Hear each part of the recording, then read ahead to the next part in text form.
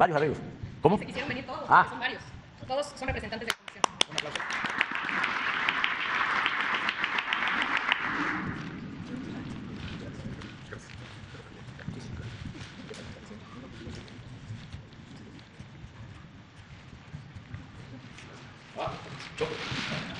A ver. Muchas gracias.